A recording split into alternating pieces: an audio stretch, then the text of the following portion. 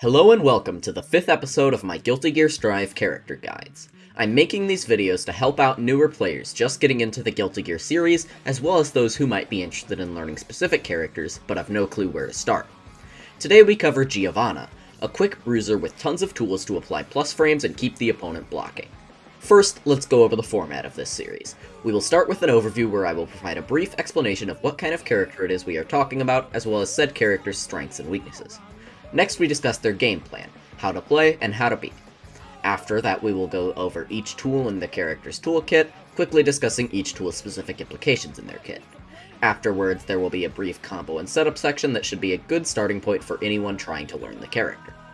Finally, we'll recap on the most important points, go over some notable resources, and finally, notable people who play the character.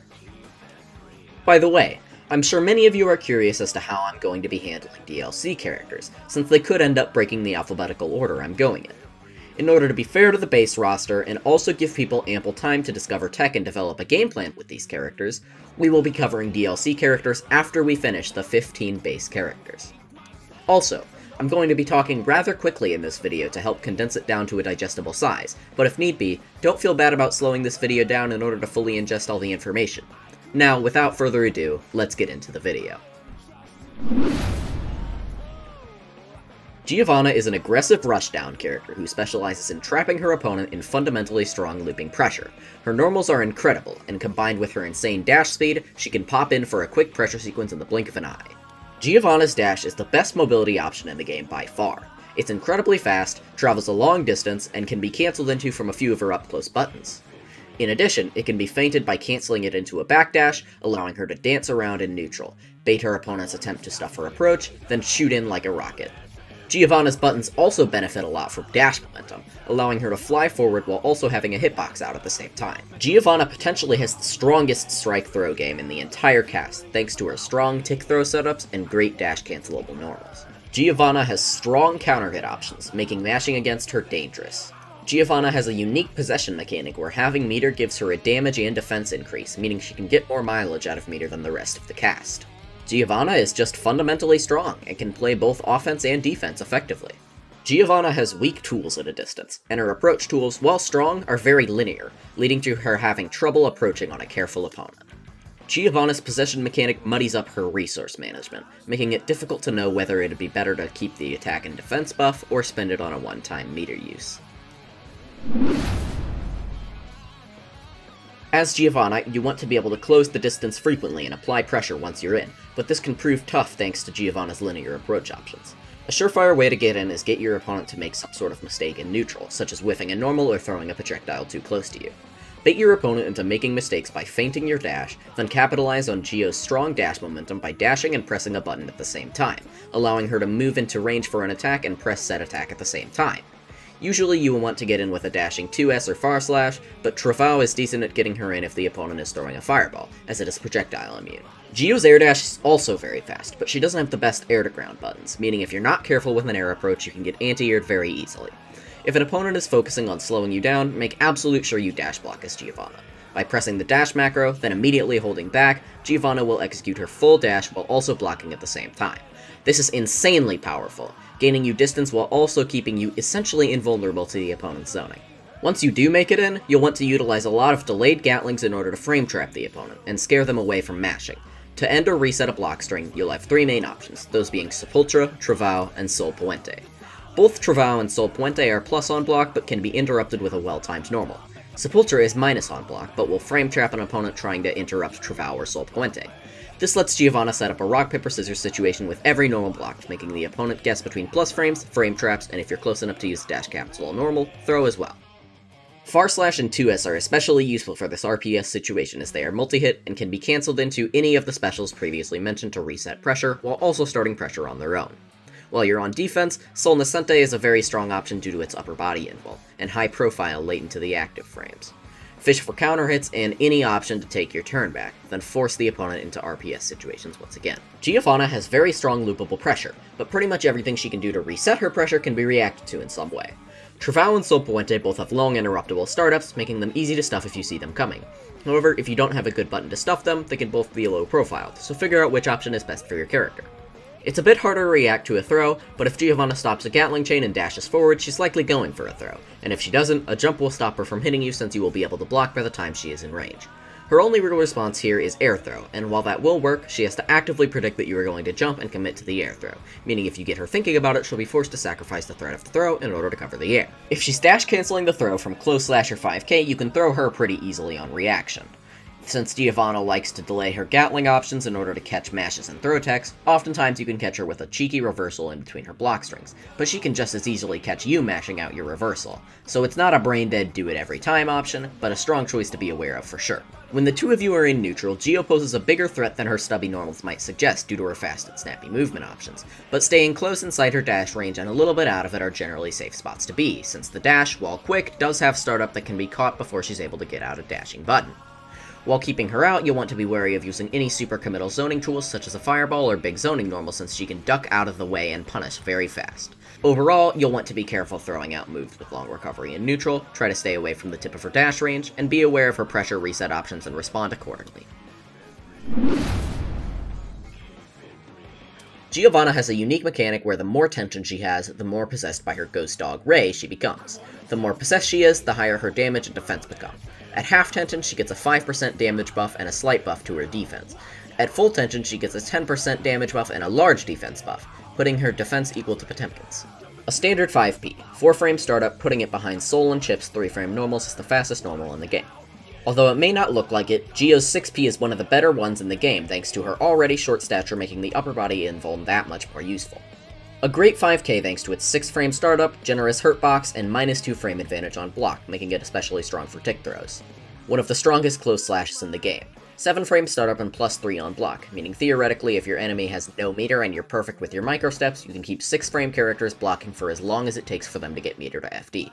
It's also dash cancelable and jump cancelable, making it a go-to option for looping pressure. Another great button, has lots of active frames making it good at catching backdashes and is easy to confirm off of. Be careful not to whiff it, as its long active frames means it's very susceptible to whiff punishes. A great button for Giovanna's pressure thanks to it being very easy to frame trap into by delaying your Gatlings into it. On top of that, it has amazing reward for counter hit, meaning frame trapping into it is a very potent threat for Giovanna. A Rekka style command normal with two follow-ups that can be delayed into for as long as the move is in the air. Usually not used in neutral like many other Rekkas, but can be used situationally to pressure the opponent. Mostly strong in combos though. The first follow-up to 6H, useful in the same way that any Rekka follow-up would be, catching an opponent trying to punish the first hit of the Rekka. The third and final follow-up to 6H, same deal as 6HH. A pretty generic 5D, but thanks to Giovanna's high meter build and strong pressure, it has its use to cash out on some damage after building the opponent's risk gauge. Also strong for breaking the wall. A standard 2P used for mashing out of pressure. A standard 2K used for catching the opponent standing has great low profile and good recovery, making it a go-to option for ducking under high attacks.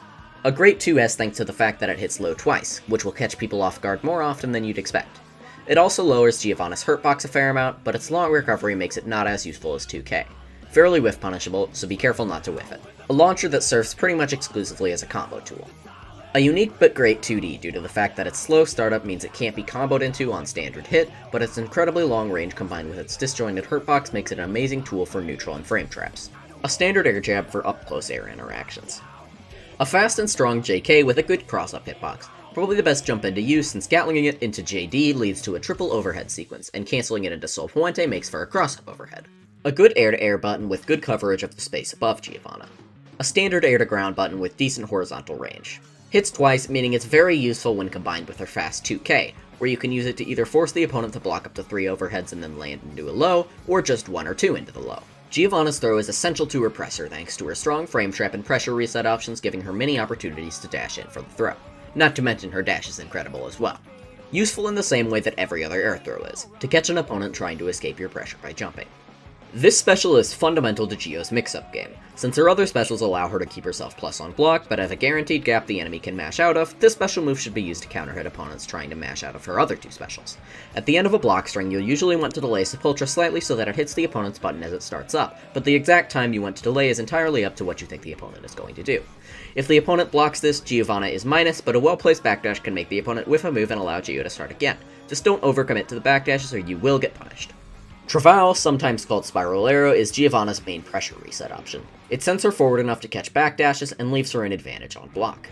It is vulnerable to low profile and 6p, so don't be too predictable with it. Mix this with Sepultura to keep your opponent guessing. It's also worth noting that this goes through projectiles, but its long startup means that using it in neutral to do so usually isn't a great idea except for on big projectiles like Leo's Heavy Fireball. This move is essentially a stronger 6p, and should be used as one. It has great reward on counter hit, meaning that it is very useful as a counter poke, and overall is one of your best attacks for guaranteed counter hit scenarios. Exchangeable with Trovão as a pressure reset, this also leaves Gio an advantage on block and is vulnerable to 6p and low profile as well. It's slightly faster but more telegraphed, so different opponents will fall for this or Trovão depending on their reaction time. This move can also hit cross-up, making it good as a tricky mix-up option that leaves Gio an advantage even on block, and can also be used for a double or even triple overheads. If you hit the opponent with a cross-up button such as JK, then cancel into Sol Poente, it will combo giving you a knockdown, which is something not a lot of characters can get after a cross-up hit. A pretty standard reversal super, easily punished on block, so don't become too predictable with it does good damage, so canceling into it during a combo can result in high burst damage potential, and it also carries the opponent pretty far towards the wall. This super is great for its burst movement. Essentially a dive kick on steroids, Tempestad is incredible for baiting and punishing anti-airs, and even if the opponent blocks it, this leaves Gio in advantage, meaning she gets pressure on block or hit. This also has swift recovery on whiff, so sometimes if the opponent backdashes it, they won't have time to recover and punish. Overall, this is a great super.